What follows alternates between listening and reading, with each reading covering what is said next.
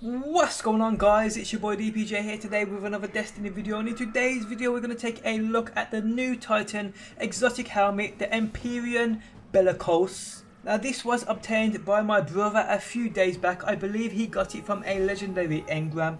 But now I can imagine many of you are obtaining this thing now that Xur is selling exotic helmet engrams. And if you have had it drop the rest of the video is probably a little pointless for you. But if you do watch it to the end I do appreciate that support I really do.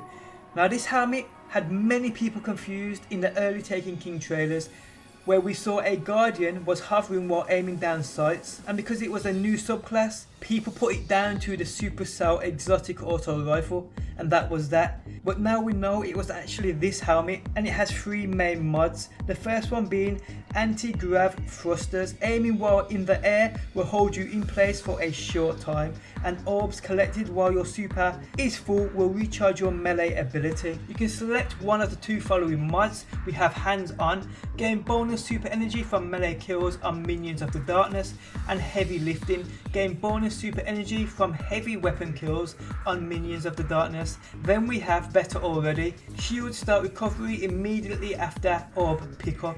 Now the design of this thing is pretty cool once you take a closer look at it. You can see the works of the mechanics of the helm. If they were working so you could see them moving that would be absolutely insane, it really would. It sort of reminds me of a goldfish bowl for some reason but still looks pretty cool. Here we can see the anti-grav perk working and to be honest it don't stay in the air as long as I first thought it would but it's definitely a unique perk and what else it offers ain't too bad for an exotic. But guys this is the Empyrean Bellicose.